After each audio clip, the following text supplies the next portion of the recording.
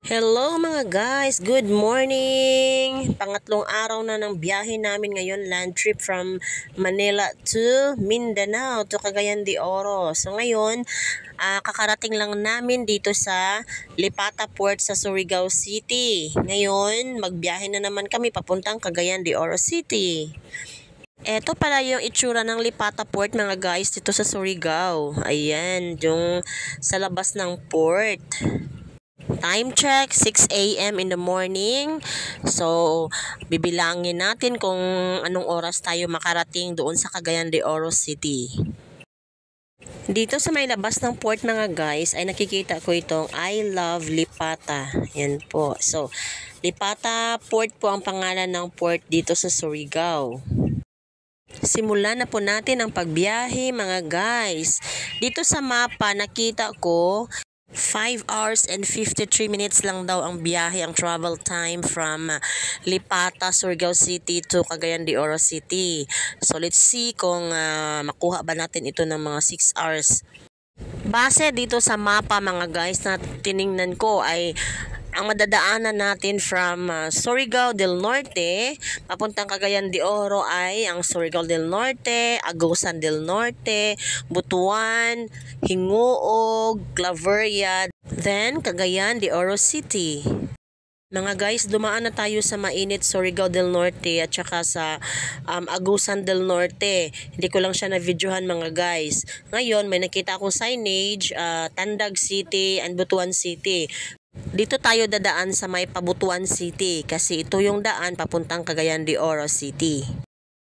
Sa mga gustong magtanong dyan kung magkano lahat ang nagastos ko, ay uh, ibibigay ko sa inyo ang info. Based lang po sa gastos ko ha, uh, lima kaming passengers and then may dala kaming sasakyan. Iko-compute ko po mga guys para sa inyo.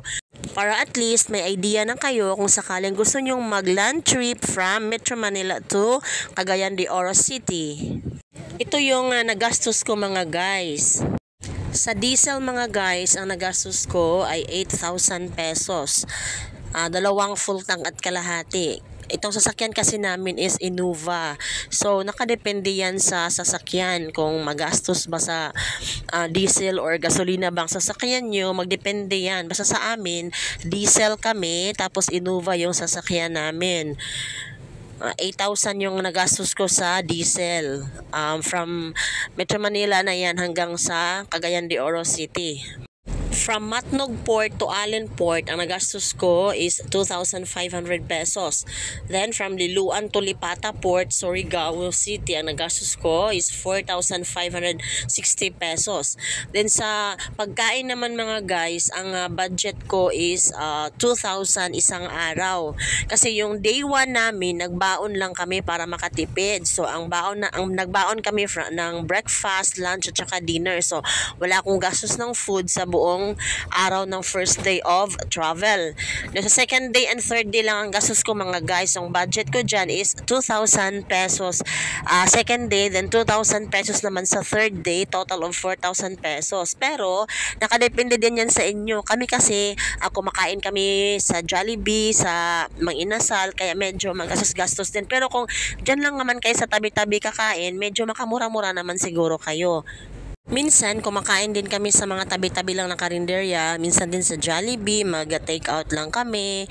Minsan sa Mang Inasal. Basta yung sinulat ko mga guys is nag-base lang po yan sa gastos ko sa travel namin. Ang total lahat ng nagastos ko mga guys, total expenses is umabot siya ng 19,060 pesos. Pero, um, pasobrahan nyo na lang yan na gawin nyo ng 20,000 pesos kasi hindi ko pa sinama dyan yung toll gate from Metro Manila hanggang sa uh, Batangas na exit.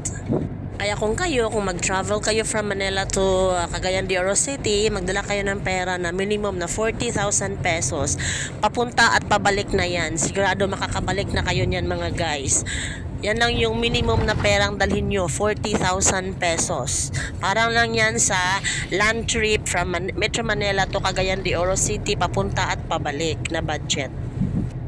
Welcome to Cagayan de Oro City, Misamis Oriental, the city of golden friendship. Nandito na tayo mga guys sa Cagayan de Oro City. time check, it's now 3 p.m. Umalis kami ng uh, Lipata Port sa Surigao City ng uh, 6 a.m. Dumating kami dito sa Cagayan de Oro City ng 3 p.m. Inabot ng 9 hours ang biyahe namin mga guys kasi um, nag-stop over pa kami, kumain ng breakfast, ng lunch, at saka bumili ng mga snacks. Kaya umabot siya ng 9 hours. Pero kung tuloy-tuloy lang sana ang biyahe, walang stop over, kakayanin ng mga 6 hours lang sana. Thank you Lord for the safe travel.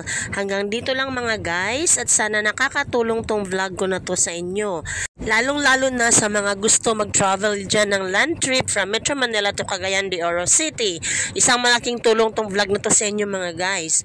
Hanggang dito na lang at uh, sa mga bagong nanood dyan, please don't forget to like and subscribe my YouTube channel.